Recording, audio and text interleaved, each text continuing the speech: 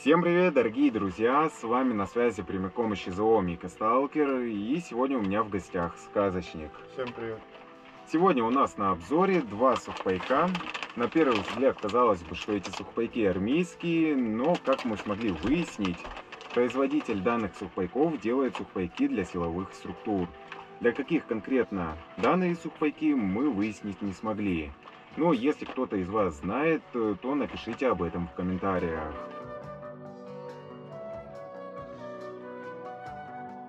Кстати, вас, наверное, мучает вопрос, почему сказочник в костюме монолита. Расскажи. Э, На самом деле секрета никакого там нет. Мы минут 10-15 как только со съемок. Съемок новой истории про Шилу сказочника. Без спойлеров обойдемся, я думаю, вас и так это заинтересовало. Но скоро все, сами узнаете. Скоро все выйдет и вы сможете увидеть. Ну, как-то так. Ну а сейчас мы приступаем к вскрытию. А, да, кстати, я забыл сказать, э, что сухпайки у нас разные. То есть, э, Кстати, да. У меня вариант первый, а у Шилы вариант другой какой-то. а у меня вроде даже не написано. Они чуть-чуть различаются даже визуально, но посмотрим. Мы сами даже не знаем, как они будут различаться. Сам пожалуйста.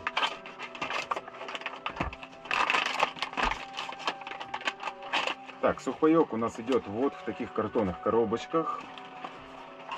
И они более удобно открываются, Пахнет чем приятно. армейские сухпайки. Странно, вот открывается сухпайок так, а консервы все вверх ногами. Ну, у меня сразу спойлерну, консервы в сухпайке идут самые обычные, вот такие вот. А у сказочника, В мягкую упаковку. Что, как по мне, странно. Но, возможно, у нас э, сухпайки для разных силовых структур. Возможно, у сказочника для Росгвардии, а у меня для какой-то другой структуры.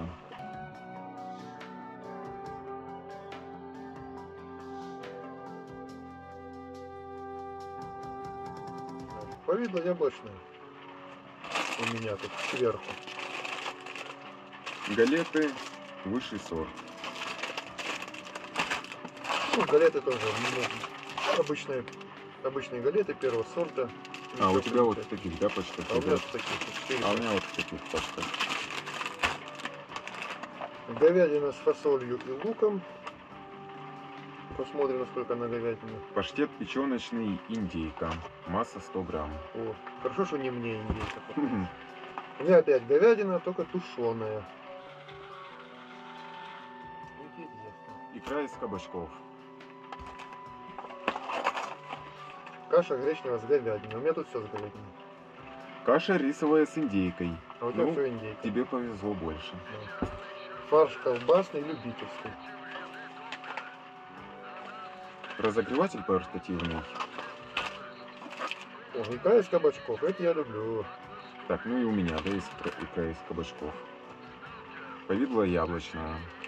А вот, смотри, действительно, вот эм, сухое горючее э, серой, и здесь же для розжига. М. Я первый раз такой встречаю. Ну, какой у меня, я не знаю, потому что в закрытой упаковке. Ну, спички, естественно. Концентрат для напитка сухой фруктово-ягодный. Быстрорастворимый. Ну, типа юки. Мгм. Фруктовая палочка, абрикосово-сливовая с фундуком. Фундук. Три пакетика сахара. Два пакетика Мгм. чая. Напиток молочный, сухой, быстрорастворимый. О, я молочный еще не пробовал. Резинка жевательная. Конечно, не долг, не монолит, как у нас в магазине, но тоже спасибо. Концентрат для напитка тонизирующий. Адап... Адаптовид. Ну, тоже Типа типа непонятно, непонятно, кто такие вкусы. Ну, витаминов целое море тут. Ну, потом, общем, посмотрим. Кофе растворимый. Сахар. Я, честно, такой сахар первый раз вижу. Не встречал что такое никогда. Три влажные салфетки. Соль, перец это абсолютно А, стандартный. Какая-то таблетка. Непонятно. Майский черный чай. Почему вот всегда в сухпайки ложат черный чай? Почему зеленый А я, кстати, не посмотрел, какой у меня. Э, Китайский зеленый чай. А Махнемся? тебе, пожалуйста. Слушай, давай, тебе один черный, мне Да, один зеленый. так и сделаем. Хотя, А, учитывая, что я чай вообще не люблю. Паста ореховая, шоколадная. Кофе абсолютно такой же, как и всех российских. Плохой и невкусный. Так. Индейка филе. Хоть бы одну консерву говяжью положили. Еще сахар. Горох с говядиной. Хоть что-то с говядиной в этом сухпайке. Это, наверное, с моего перепала. Салфетки 6 штук. Хм, Обычные салфетки. Сливки, перец, ну и соль. Ложечки. И открывашка у меня для консерв. А у меня пластиковая. Но тебе больше повезло, твои руками можно открыть. Ну и столовые приборы. Но мы взяли с собой железный, чтобы было поудобнее. Ну и все. Что-то они какие-то пыльные. Вот что удивительно, вроде бы сухпайки от одного производителя, но почему-то у меня сухпайок вот с такими консервами, а у сказочника с более удобными и легкими. Но у меня, видать, для действительно походных каких-то условий, а у тебя более, так сказать, городские. Наверное.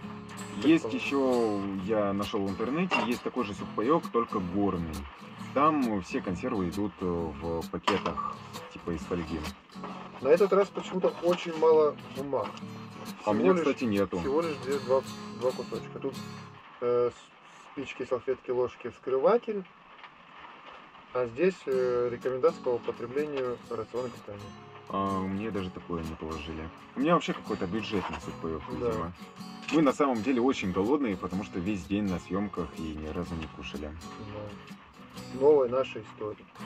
Ну, я, наверное, начну с индейки филе. Конечно, открою пачку галет. Я сначала думал, что это какие-то типа бублики или что-то в этом роде. Посмотрим, кстати, какой у меня разогреватель. Ну, конечно, все лучшее досталось монолиту. У меня, Слава он, монолиту, братья. у меня он даже рассыпался. Ну, вы просто на это посмотрите. Что за несправедливость? Это, это потому что ты неверный.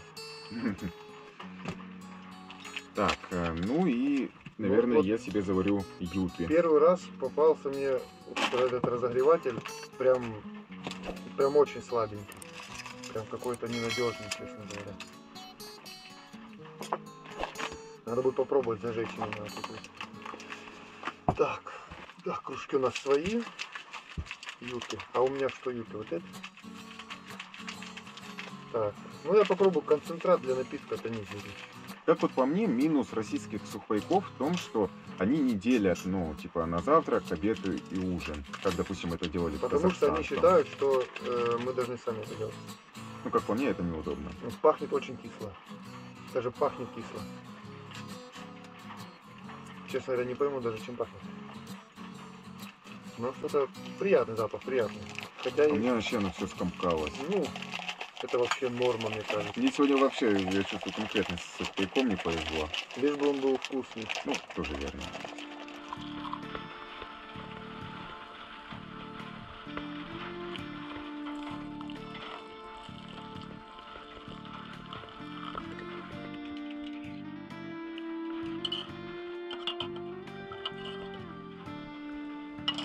Попробую разжечь, как это тут предусмотрено. Я вот, кстати, забыл, но мне, походу, сюда спички не положили.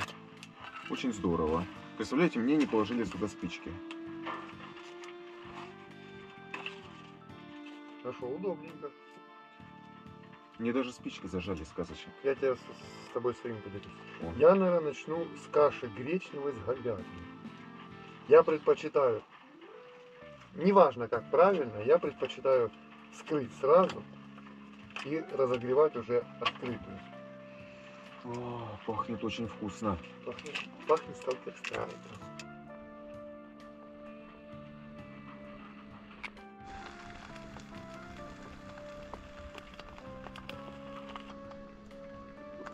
Так, ребята, ну что, начинаем пробовать. Так, у меня, Сказочник уже повторюсь, у меня, попробовал, у меня гречневая каша с говядиной. А у меня филе индейки. Пробуем.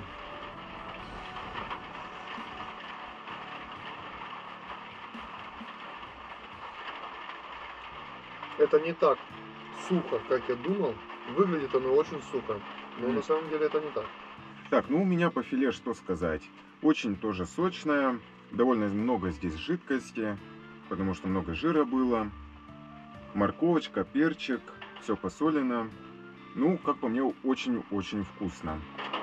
Конечно, видно, что гречка не первого сорта, но по вкусу очень приятно, не пересоленная, не хочется добавить никаких специй, прям все так довольно-таки сбалансировано. Прям хочется есть. Я, наверное, запью и посмотрим, каков концентрат.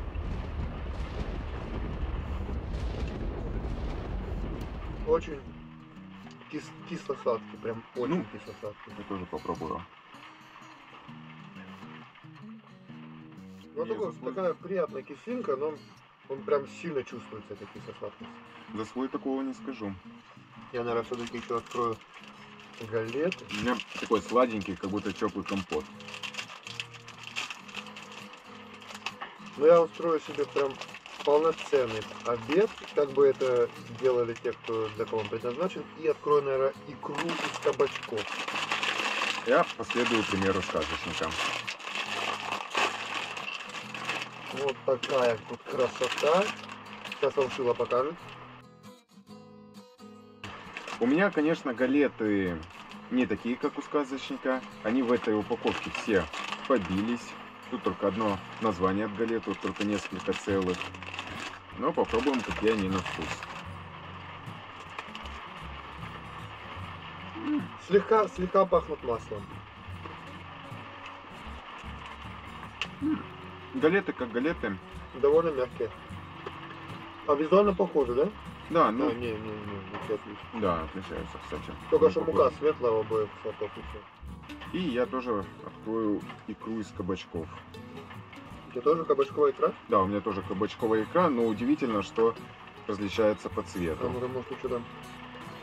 У меня что-то подписано уваренных. У тебя есть такой Сейчас прочту. Но мне, мне больше знакома такая кабачковая икра, такого цвета, М. более светлого, чем здесь. Пахнет вкусно. Но вообще я не любитель кабачковой икры.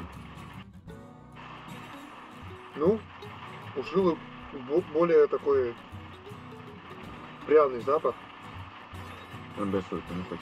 чем у меня. Да, я бы сказал, у меня более насыщенный. Ну, у меня прям такой дохленький. Хотя он все же есть. Я вообще не любитель кабачковой икры и мало ее ел, но у меня она какая-то с небольшой кислинкой, что ли. Дай попробую.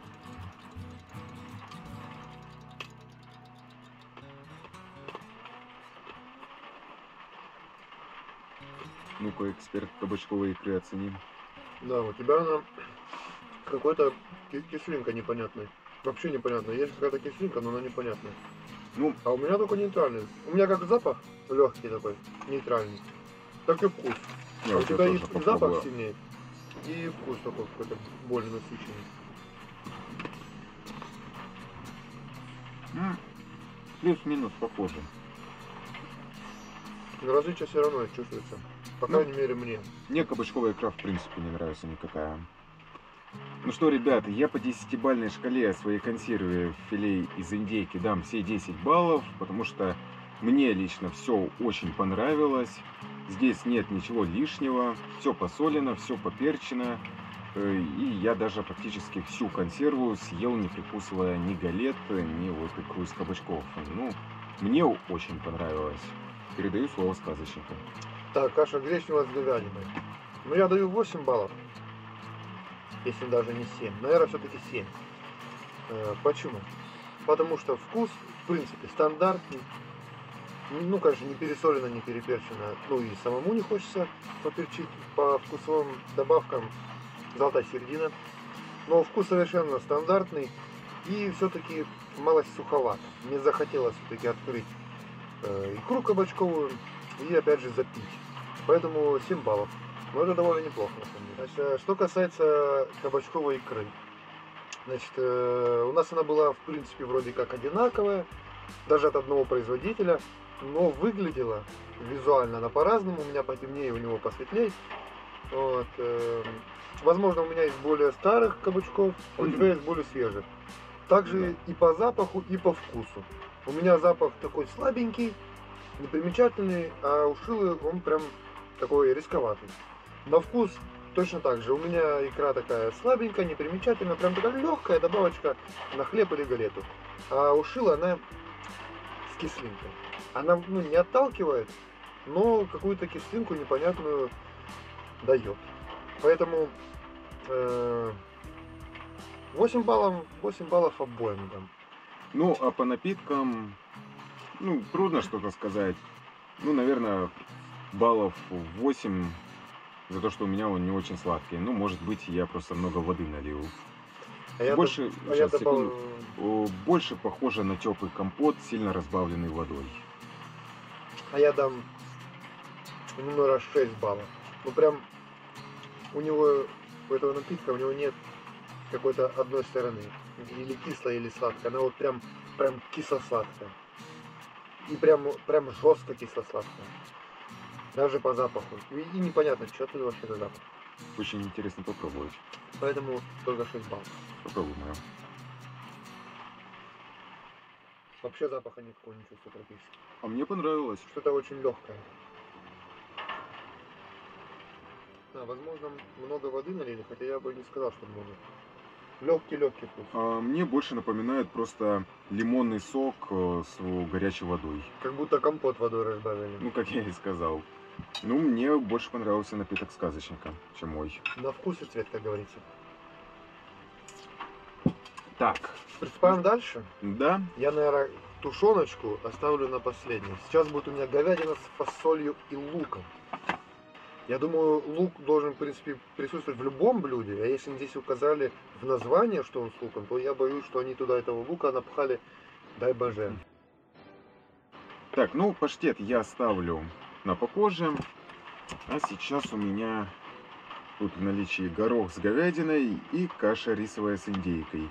Ну, так как индейку я только что поел, я, пожалуй, попробую горох с говядиной. Хотя горох люблю не очень, опять же. И тут, кстати, у консервы нету открывашки, поэтому в этот сухпайок э, положили вот такую открывашку. Но, как по мне, это странно, почему бы не сделать сразу консерву с Мне открывашкой. прям интересно, как ты сейчас изгаляться будешь. Мне вот тоже.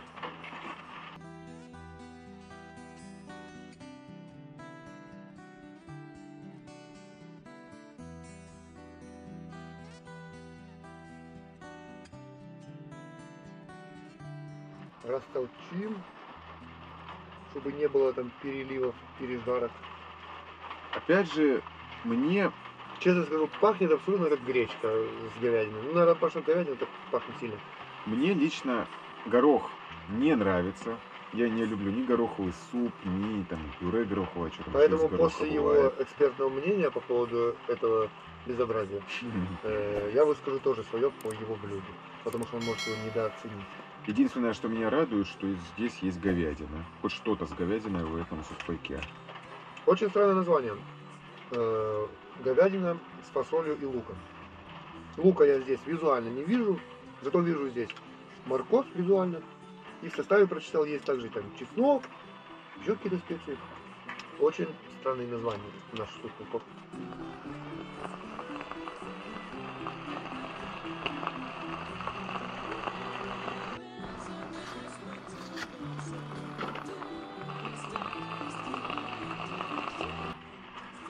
Приступлю, приступлю я к дегустации. Ну, я уже попробовал. Как я говорил, горох я не очень люблю. Но пюре, буду назвать это пюре, ну, довольно неплохое. Если вы любите горох, то вам 100% понравится. Также здесь морковочка, тоже перчик. Посолено все хорошо, перчить солить не хочется.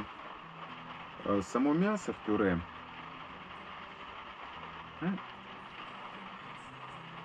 довольно неплохое. Кстати, ребят, такую же консерву ел товарищ полковник Снегирев. А в каком видео? Напишите в комментариях, внимательные зрители. Я съел довольно уже много, половину, наверное. И готов сказать, что э, очень много здесь приправы. Прям вот пока Шила говорил, я ел, мне прям хотелось уже запить. Вкусно, конечно, бобы вкусные, чифасоль. Морковка прям хорошие кусочки такие. Говядина тут прям распотрошенная, ее прям тут с гулькин нос. Довольно приятно на вкус, но приправы здесь прям очень много. Вот, Есть, есть можно, но хочется запивать. вот, кстати, насчет говядины. У меня тоже говядины очень мало. Я вот ее всю повыедал, и здесь, в принципе, осталось только лишь пюре. Вот сказочнику горох нравится, я хочу предложить ему попробовать.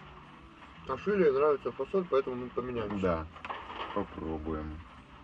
Тем более мне это блюдо должно быть близко к сердцу. Мгм.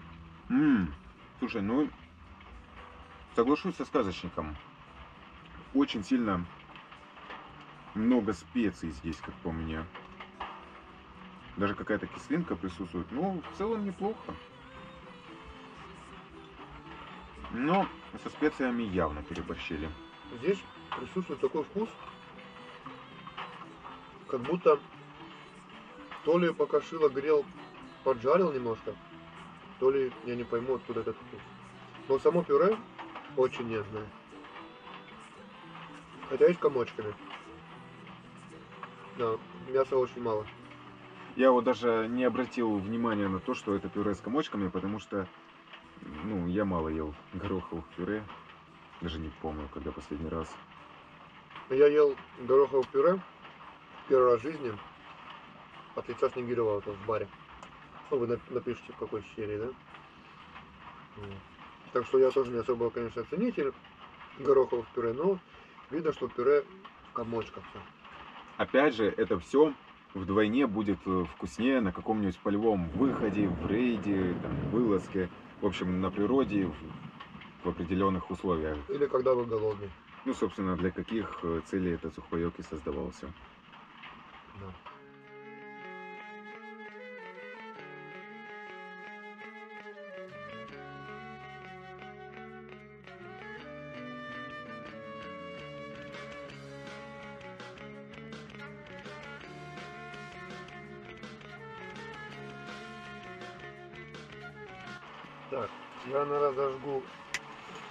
Пока горючее будет у меня разгораться. Я открою тушеночку говяжью. Ну, от кофе чего-то большого я, честно говоря, не жду. Я еще добавлю вот такие вот сливки в кофе. Никогда не пробовал сухие сливки из сухпайка. Ну, кстати, цвет у кофе прям получился, как будто молока налили. Ну, молока налили явно самую малую. Но, честно говоря, запах у кофе лучше от этого не стал. По-моему, все блюда в этом сухпайке пахнут одинаково. Абсолютно.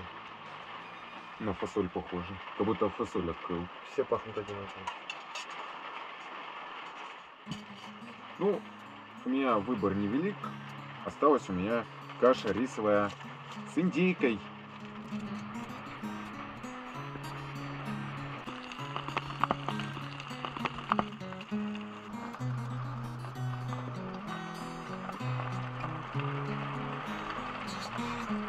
Мы тут вспомнили, что мы не оценили наши блюда. В общем, я своей фасоли э, поставлю, наверное, шестерочку. Она хоть и со специями у них там переборчик, но в принципе, если запивать, можно в принципе кушать, не смертельно, и вполне можно наесться. Ну, я своему пюре дам, наверное, восьмерочку. Снижу 2 балла, потому что не могу полностью оценить данное пюре из-за того, что в целом не люблю горох.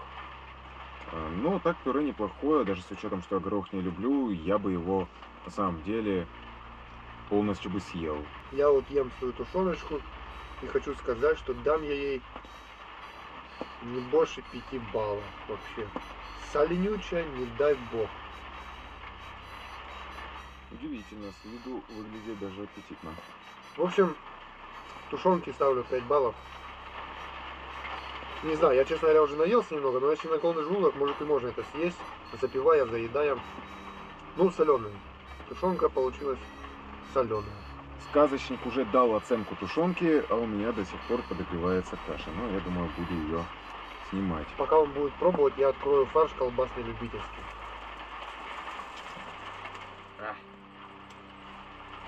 Горячая.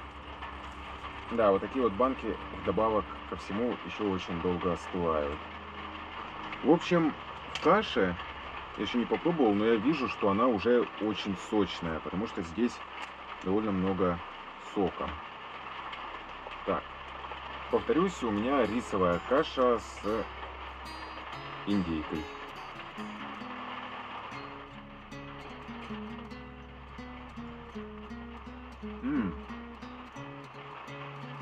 Довольно неплохо. Это она прям белая. Рис. Значит, морковки здесь я не вижу. Перца не чувствую, соли тоже не чувствую. Вот она по вкусу неплохая, но, как по мне, она совсем не соленая. Ну, мне вроде сюда соль положили. Я, пожалуй, ее посолю. Ты что скажешь? Да, очень не хватает соли. Вообще специй в принципе не хватает. Пока Шила пытается еще раз пробовать, расскажу про кофе про свой. А, Выглядел он страшно. Выглядел он страшно. Черный, прям очень черный. Обычно он такой коричневатенький. Тут прям прям черный. Я люблю э, более такой сладенький. Но даже сюда, оказывается, добавил мало сахара. Запах у него, честно скажу, не очень. Как и в большинстве сухпайков. И вкус такой же. Такой же не очень. Вкусом кофе я бы это не назвал, если честно. Но если нечем запивать, то в принципе лучше, чем простой водой. Наверное. По моему лицу, наверное, тоже видно, что кофе здесь только пахнет. 7 баллов, не больше. Пятерка. Кофе я поставлю пятерку. Прям, ну, конечно, в условиях зоны будет неплохо, с учетом того, что кофе в зоне вообще дефицит. Но, Ну, Фуллер это, мне кажется, даже роскошь. ну это да. Хотя, ну, хотя сейчас, да, может, раньше было, это было бы роскошь, а сейчас это нормально. Зажрались сталкера, зажрались. Ну да. Вы монолитовцы уже давно сожрались. А мы никогда и не напрягались. Ну что ж, каши я поставлю, наверное, восьмерочку. Спешу 2 балла за то, что в ней не хватало специй. Восьмерочка. Если посолить, поперчить самостоятельно, очень даже вкусная каша. Так, э, ну и последнее, что здесь осталось у меня в сухпайке из консерв, это паштет печеночный. И догадайтесь, какой? Индейка. А, ты уже открыл. Так. Скрываем. Абсолютно одинаково. Я бы не сказал. Визуально одинаково. Вообще- Ну, подумаешь, у меня тут дырочка в центре, и все. У По меня, цвету у меня посветлее.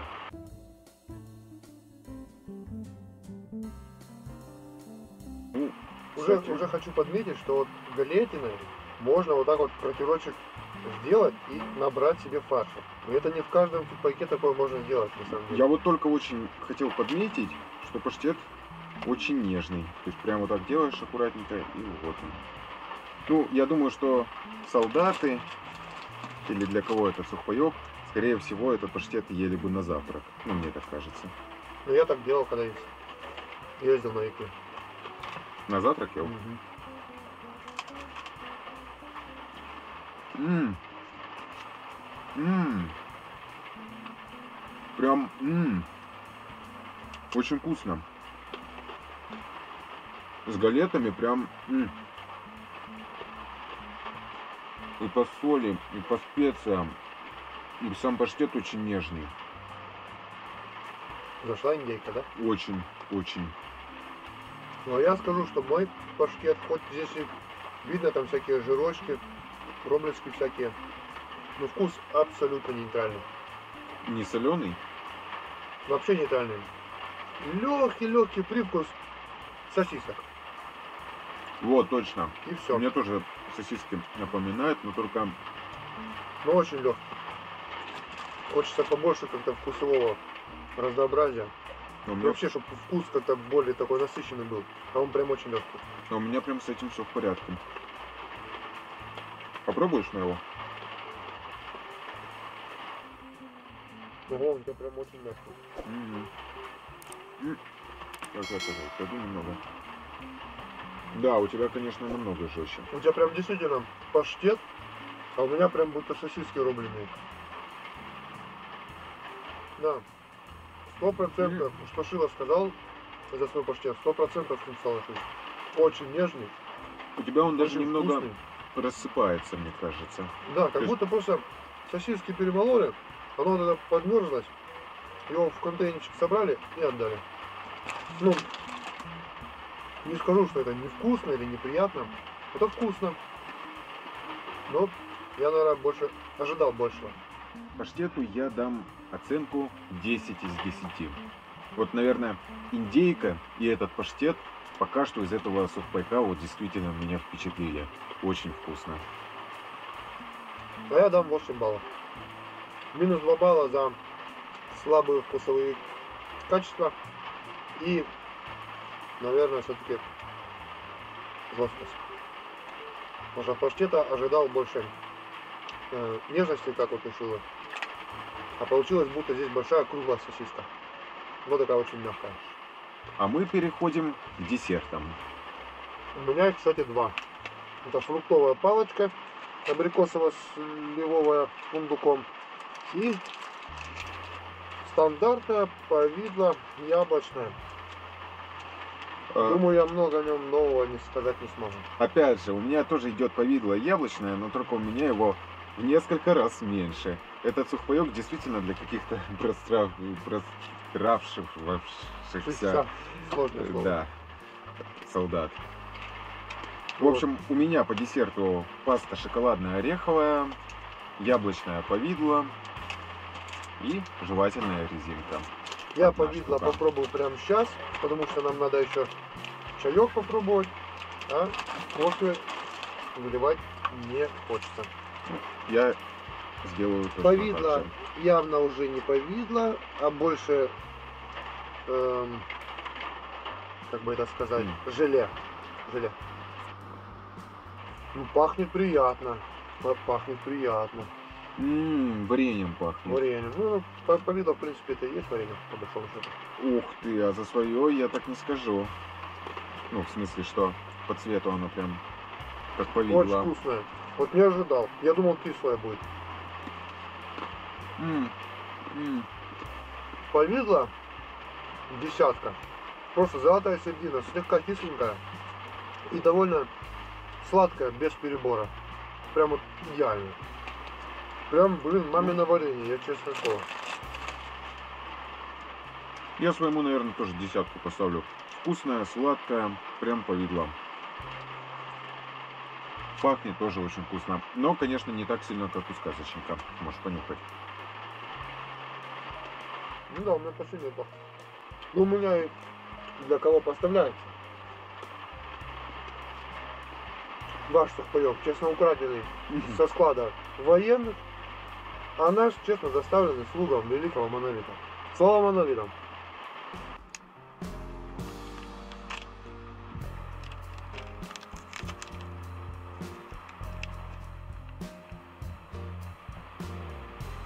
И первый кусочек я предоставлю Шуне. М, м, Неплохо. Пахнет приятно. Мягкий, удивительно. Мне как-то попался один твердющий. Ну, а я попробую шоколадную пасту. очень чувствуется слива. Абрикоса пока не особо. М. Чем-то отдаленно напоминает нутеллу, но шоколад, как по мне, довольно соевый. Конечно. Но в принципе, в полевых условиях будет вкусно. Ну я что скажу. Эм, чувствуется очень слива с добавлением чего-то там. Больше по вкусу я тут ничего определить не могу. Даже абрикос может и видно, но по вкусу тут практически одна слива. Сначала попробую с галетой.